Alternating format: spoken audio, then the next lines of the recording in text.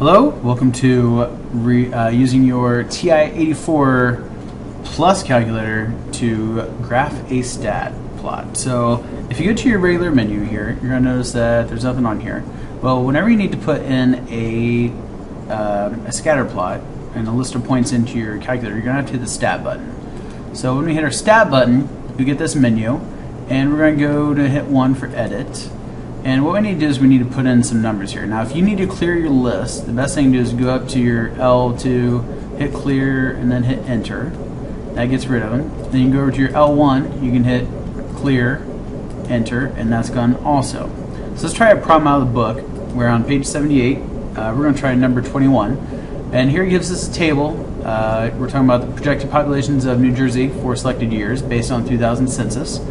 And for A, it says use graphing utility to create a scatter plot of the data with t equals 10 corresponding to 2010. So you want to make sure that you don't put 2010 into your graphing calculator in your list 1. You'd want to put in just a 10. So we're going to put in our list 1. We're going to start with a 10. Type in 10, hit enter. And then we're going to put in 15. Hit enter. 20, enter, goes 25, and then 30. So if you type in, there's your list one, so that's your X column. Your Y column is going to be your um, your population. So it's going to be this row right here, this column here, this is your Ys. So we're going to say 9,018, enter. And then you have 9256, 9256. Then we get 9462, enter, uh, 9637, and finally 9802. So the best idea is to go back through and make sure all your numbers are correct, which they are, and make sure that you always have an X paired up with a Y. Sometimes if you get an extra X or an extra Y, they'll give you like a dim mismatch error is what will happen. So if you want to graph these, notice on my graph there's no points, best thing to do is hit zoom. Actually, before that, sorry, let's turn on your plot one. If you go to your y equals, plot one is not highlighted. So we need to go up here and highlight, click on, hit enter on plot one. So now it will be on. We will never use plot one and plot, or plot two and plot three, so never have those on. So now what we can do is we can hit zoom, and then you can go down and zoom 9 is your zoom stat button. So if you go to 9, zoom stat, hit 9, there is your scatter plot. So what the zoom 9 does is it just puts everything in the correct uh, window for you so you can find your scatter plot. So now uh, another key in order to remember how to actually uh, find use regression feature.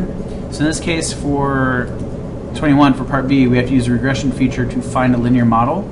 You go back to your calculator, you go back to your stat menu still, and instead of using your edit menu, you need to go over to your calc menu. So we're going to cursor to the right, and we're going to find a linreg. So this should say 4.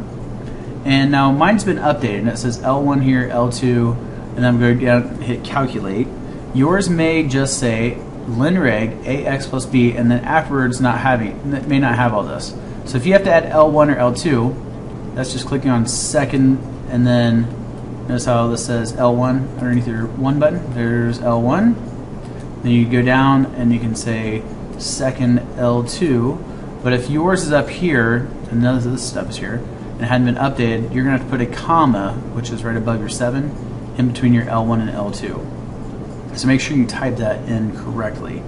Um, so after we go down, we have our L1, L2. We hit enter for calculate here is your equation. So y equals 38.98 plus x plus b. So if you want to graph this, you're going to hit y equals, and you'll say 38.98x plus, and now I forget the other number.